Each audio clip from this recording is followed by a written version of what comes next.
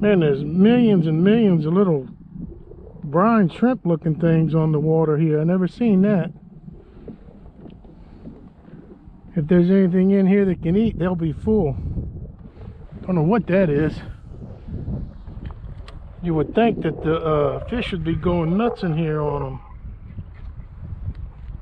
Almost look like little squid. I don't know what they are. No, I don't know what the heck that is. Something new to me. Just when you think you've seen it all, every trip something new. Whatever it is, the fish must not like them because you'd think they'd be crashing it like crazy. They got like a little pinkish toward the edge of their tail. If I had a bait net, I'd dip some up and see what the heck they are.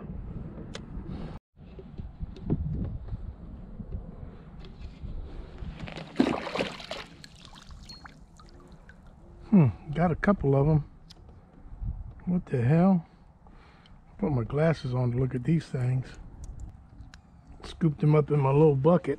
I've never seen anything like this before.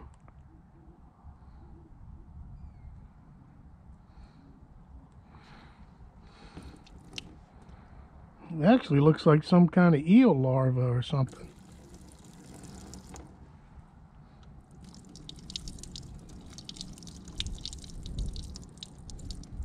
Look at that. Ooh wee. I don't know what that is. It's got a bunch of legs. That's just freaking crazy. Millions of them in the water. I don't know if I want that on me. wow. Like I said, when you think you've seen everything, something new pops up out here. If anybody knows what those are, can identify them, let me know.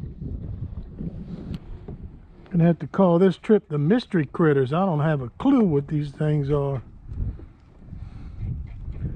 Obviously the fish don't like to eat them because they're not, they're not crashing them. You would think that they would be crashing all in them. I've seen a lot over over the years out on the water, but I've never seen anything like this. Well, no death chest count today because I got skunked it happens. If anybody knows what that little larva that was out this morning, let me know. It looked like it had like the head of a grub and the back half of it was like a shrimp. I was talking to a guy at the ramp. He said it might be brown shrimp larva. I, I don't know. So if anybody can identify that sea creature, let me know. If it was shrimp, it ought to be a good shrimp season this year because they were everywhere I went this morning. So till the next video, get out there and go fishing.